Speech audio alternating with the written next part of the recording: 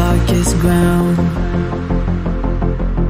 But gravity pulls you straight down. Earth from a bird's eye view. You should grow feathers and see this too. When you want to get